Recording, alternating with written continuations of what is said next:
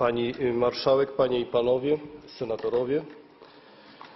Mówimy dzisiaj o bardzo poważnej sprawie, mianowicie mówimy o totalitaryzmach, dlatego że nazwy, symbole, wszystko, do, co dotyczy przestrzeni publicznej, to jest jakby y, informacją o tym, że dany system, dany totalitaryzm jest obecny, istnieje. I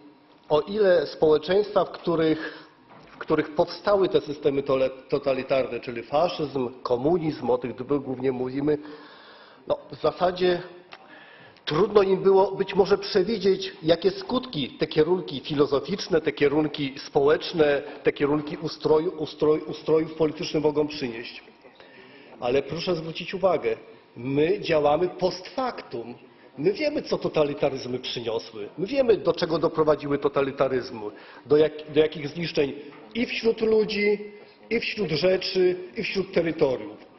I teraz w, sy- w sytuacji, kiedy my posiadamy taką wiedzę, wydaje się czymś oczywistym, że powinniśmy totalitaryzm totalnie po prostu odrzucić, że żadnej nazwy nie powinno y, po prostu w Polsce, w przestrzeni publicznej, nazwy odwołującej się do total- total- totalitaryzmu się znajdować.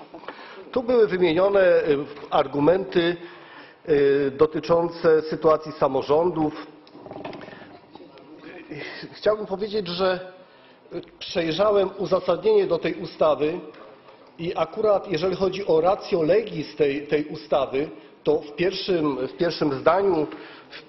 w, pierwszy, w pierwszym wierszu tego właśnie uzasadnienia mam informację, że to właśnie Rada Miasta Jastrzębie-Zdrój zwróciła się do Senatu z petycją w sprawie uchwalenia ustawy usuwa- usuwającej z publicznego życia komunistycznych patronów ulic, placów itd. itd. Czyli wniosek z tego, że skoro to samorząd zwrócił się do władzy władnej podjąć, y, przyjąć ustawy zwykłe, to coś no jednak jest na rzeczy, że jest to sygnał, że władza samorządowa oczekuje wsparcia, jeżeli chodzi o ustawodawstwo zwykłe. Tu takie rozdzielanie samorz- s- y, Polski samorządnej od Polski y, reprezentowanej przez władze administracji rządowej, czy też przez, przez, y, przez, y, przez władze ustawodawcze, no uważam, że jest no, nie na miejscu, dlatego że w sensie geograficznym stanowimy jedną Polskę i niezależnie od tego, czy czy dany pomnik o takiej właśnie nazwie, którą tu dzisiaj przywołujemy, znajduje się, znajduje się w kompetencji takiego czy innego samorządu, no to jednak to dotyczy nas wszystkich, bo my będąc w takim czy w innym miejscu w Polsce nie zwracamy uwagi, czy to jest samorząd ten czy inny, a skoro samorząd y, w gestii samorządu takiego, który nie jest w stanie podjąć y, decyzji o usunięciu tej nazwy, y, znajduje się taki pomnik, no my nie możemy po prostu godzić się na to, żeby ten pomnik dalej pozostawał w tym, w tym miejscu. Chciałbym zwrócić uwagę, że jeżeli chodzi, jeżeli chodzi o to pytanie, które zadałem, jeżeli chodzi o osoby, o honorowych obywateli danych, y, danych miast, danych samorządów, no jestem pod ogromnym wrażeniem tych informacji, że nadal w sensie formalnym y, wiele samorządów, wiele miast, wiele gmin, no jednak posiada w swoim spisie y, honorowych obywateli również obywateli, również osoby, które kojarzą się jednoznacznie z systemem, z systemem y, totalitarnym.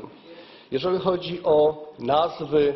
mia- nazwy miejsc publicznych, które są kojarzone, kojarzone z totali, te nazwy, które wynikają jakby z totalitaryzmu, no jeżeli, jeżeli mamy pomniki, tak jak tu zostało przywołane Lenina, jeżeli mamy nazwy, inne nazwy kojarzące, kojarzące się z totalitaryzmem,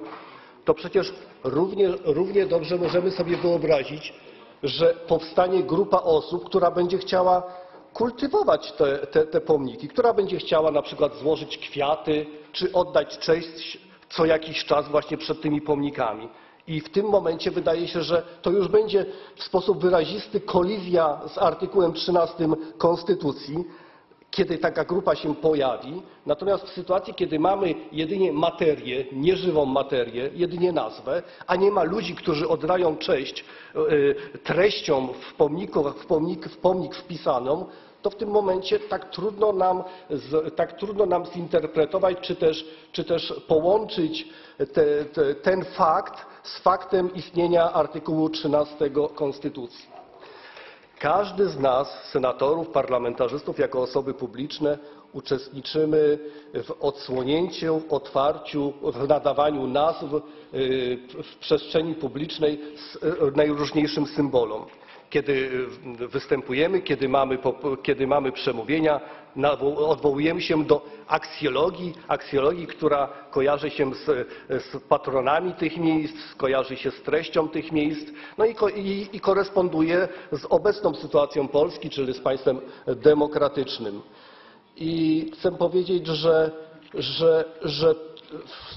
fakt, że istnieją inne pomniki, które są diametralnie inne od tej aksjologii, którą my wtedy wypowiadamy, no jest to dla nas bardzo rzecz wstydliwa i dopóki taka sytuacja będzie, my nie będziemy tak,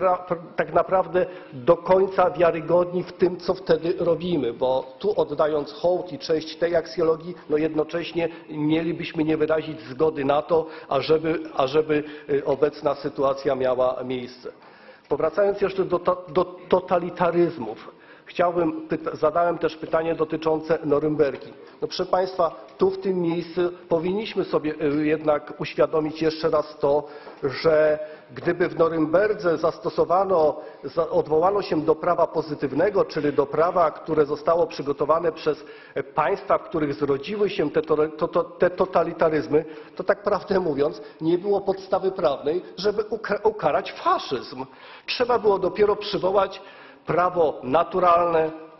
prawo naturalne, które wtedy przeżywało renesans w całej Europie, pomimo że idee oświecenia no jednak w bardziej uniwersalne y, systemy y, ukierunkowały systemy, systemy polityczne. To w tym momencie nastąpił renesans, odwołano się do prawa naturalnego, a i w tym momencie został osądzony faszyzm, dlatego że, dlatego, że faszyzm jest